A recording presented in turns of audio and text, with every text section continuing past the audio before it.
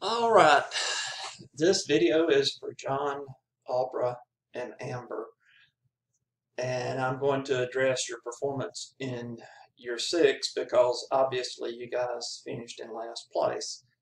Um, so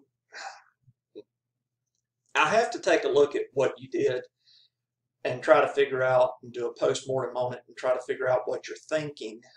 And in doing that, I went back and in um, D2L and I looked at class progress to see whether you've been watching the videos and access the course content. Well, that's good information insofar as it goes. It'll tell me, you know, what percentage of the topics that you've actually looked at. And some of you have done a really good job. Um, in fact, all of you have done a really good job. You're all above average in the course content that you've viewed my question is have you actually watched the videos? Have you actually read the information? Um, have you actually looked at the GLO-BUS Participants Guide? Have you actually looked at what's involved in implementing a particular strategy? Because when I look at look at your decisions based on what you did last year, which is year six, I have to go with the assumption, it appears to me, um, if I look at you, your, your team C here, that you're maybe going for a differentiation strategy, although you didn't achieve that strategy. I would categorize your strategy as more of integrated differentiation.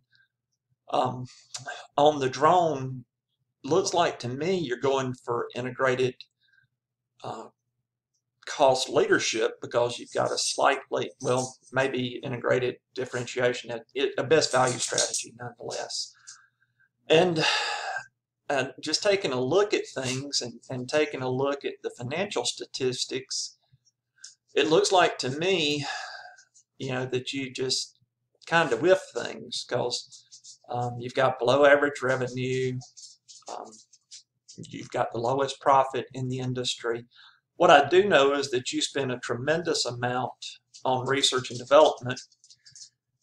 You didn't purchase any stock back. Um, if I take a look at your benchmarks, you didn't fill the hole in your action capture fa factory. You didn't fill the hole in your drone factory. So there just is honestly a real huge disconnect in what you did. Um, now, having said that, you spent looks like about $42 million last year on research and development, and that's not money that I would say is thrown away because you actually can leverage the benefit of that research and development you know next year and years going forward. What I would say is that you're in a hole and you got to fix it. Um, if you did intend to implement a differentiation strategy. You're not differentiated enough. And quite frankly, you spent money foolishly in trying to differentiate your product. Um, specifically, I gave you some very pointed things to do in implementing a differentiation strategy. And it looks like to me that you just ignored all of that advice. So at any rate, um, I'm here for you if you need help. Um, you know you're you're struggling. You're obviously in last place. And quite frankly that's going to leave you really really vulnerable. If you finish in last place you're going to be vulnerable to to make a D or or possibly even an F in the course. Um, you know you need to reach out to me. I'm, I'm offering you a lifeline.